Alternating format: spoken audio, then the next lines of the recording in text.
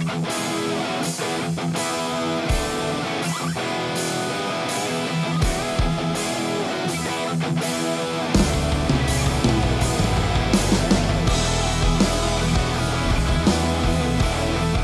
chào quý các bạn, như vậy là trận 3 của mùa giải đua xe mô tô châu Á 2019 ARRC diễn ra đầu tháng 6 vừa qua tại trường đua quốc tế Trang Buriram, Thái Lan đã mang đến cho khán giả nhiều cảm xúc, đặc biệt là những người luôn theo dõi và ủng hộ Honda Racing Việt Nam cũng như ba tay đua của đội. Trang International Circuit, trường đua có biệt danh nơi tốc độ hội tụ, đã không còn lạ lẫm với các fan hâm mộ đua xe thể thao của châu Á. Đây hiện là một trong hai trường đua tốt nhất Đông Nam Á với chiều dài 4.554 km cùng với 12 khúc cua, đặc biệt là khúc cua cay nghiệt cuối cùng, nhiều đoạn đường thẳng dài. Trường đấu này được coi là sẽ thách thức cả kỹ thuật của các tay đua cũng như sức mạnh động cơ của các đội thi đấu. Bây giờ mời quý vị các bạn cùng quay trở lại với những diễn biến của chặng 3. Ở hạng mục UB150 trong ngày đua phân hạng, cả Lê Khánh Lộc số đèo 48 và Nguyễn Vũ Thành số đèo 99 đều không đạt phong độ cao nên chỉ xuất phát ở vị trí 26 và 28 tương ứng. Với vị trí xuất phát như vậy, thật khó để Lộc và Thành có thể gặt hái được những điểm số. Kết thúc Ray 1, Lộc cán đích ở vị trí 25 trên 30 tay đua, còn vị trí của Thành là 26 trên 30 tay đua. Bước sang Ray 2, va chạm đã xảy đến với Lộc ngay khi xuất phát, buộc anh phải rời cuộc đấu. Xuất phát ngay phía sau và chứng kiến đồng đội ngã trên đường đua. Nguyễn Vũ Thanh phần nào bị ảnh hưởng tâm lý, điều này hoàn toàn dễ hiểu bởi Thanh cũng đã từng trải qua hoàn cảnh tương tự và phải mất gần một năm mới có thể trở lại. Tuy vậy, số 99 của đội Honda Racing Việt Nam thi đấu đầy cố gắng và cắt đích ở vị trí 22 trên 30 tay đua, cải thiện 6 bậc thành tích so với vị trí xuất phát.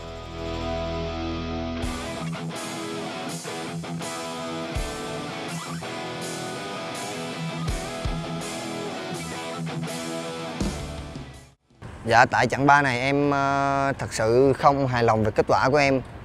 Uh, cái lap time của em thật là thấp so với uh, năm ngoái lần đầu em tham dự. Dạ trước khi uh, chạy uh, thì tâm lý của em thật là thoải mái và sẵn sàng để uh, bước vào cuộc đua.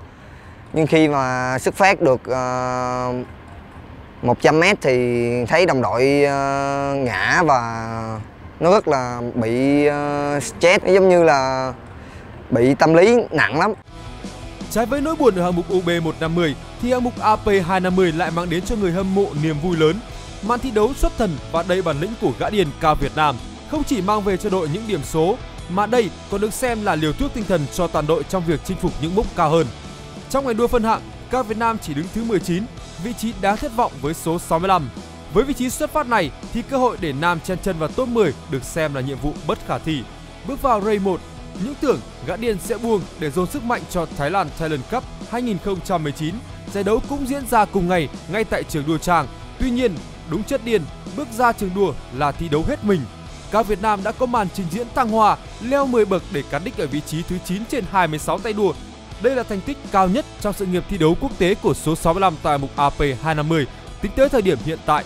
Ở Ray 2, các Việt Nam vẫn duy trì được sự tập trung và về đích ở vị trí thứ 14. Như vậy, số 65 mang về cho Honda Racing Việt Nam thêm 9 điểm hạng mục AP250.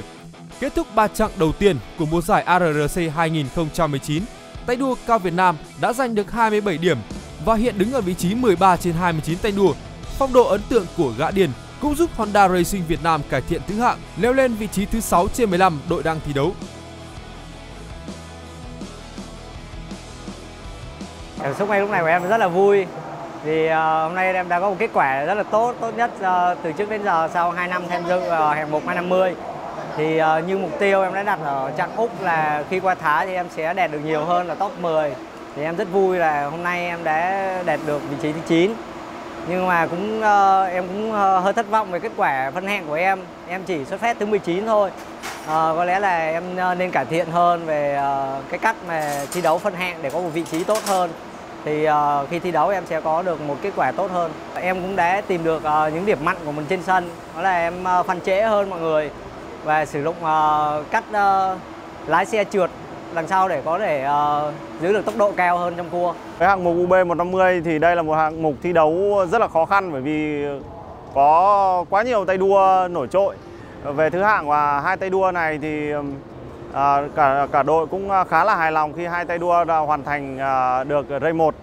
Việc vận động viên Lê Khánh Lộc bị chấn thương này là một sự cố nằm ngoài mong muốn của toàn đội Bởi vì ngay trong tuần sau thì chúng tôi phải di chuyển đến à, Suzuka Nhật Bản để thi đấu hệ à, giải à, chạy à, Suzuka 4 giờ. Việc này cũng ảnh hưởng khá nhiều và chúng tôi đang phải à, à làm tất cả các à, thủ tục để à, thay thế một vận động viên khác cho Lê Khánh Lộc. Bên cạnh kết quả ngoài mong đợi ở hạng mục AP250, các Việt Nam kết thúc một tuần tuyệt vời, bước lên bục podium ở giải Thái Lan Thailand Cup 2019. Xin chào và hẹn gặp lại quý vị các bạn trong những chặng đua tiếp theo của ARC 2019. Nếu như video hay, các bạn nhớ like và share và cũng đừng quên subscribe kênh YouTube của Autoly để chúng ta cùng nhau theo dõi và cổ vũ cho những tay đua